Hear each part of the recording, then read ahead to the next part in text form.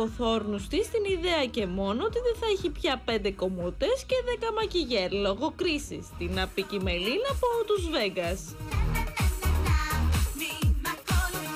Φτιάχνω μόνο μου τα νύχια μου. Κάνω μόνο μου εργασίες τις οποίες πλήρωνα πριν να μου τις κάνουν. Άτιμη κρίση, τι θα κάνω όπου δεν ξέρω από πιστολάκι. Ε, και τα μαλλιά πολλές φορές τα κάνω μόνη μου γιατί πιάνει το χέρι μου, κότσους κάνω μόνη μου, ε, κέικ φτιάχνω μόνη μου, ψωμί φτιάχνω μόνη μου. Μάθε τεχνικιά στην και άμα πεινάσεις πιάστη μου έλεγε ο παππούς μου Δεν τον άκουγα τώρα όλοι με ένα ψαλίδι στο χέρι και κόψτε ό,τι μπορείτε Νομίζω ψώνιζα πιο πολύ.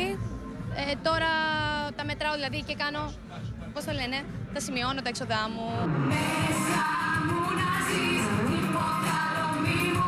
Ε, έχει γίνει περικοπή σε αγορές για ρούχα και τα λοιπά. Έχει γίνει περικοπή. Για κοιτάξτε προσεκτικά το σπίτι σας Τα σεμεδάκια της γιαγιάς σας βρεθούν Εδώ βλέπουμε καναπέδες, δεν βλέπεις ώρα τι κάνει. Λόγω Κουρτίνα, δεν πιάζει από κουρτίνα. Σκηνή. Η κρίση άφησε το τραγούδι και έπιασε τα πάνελ Σας το είπα, εξαπλώνεται Ε, δίνω 50 ευρώ, μπορώ να κάνω πάνελ.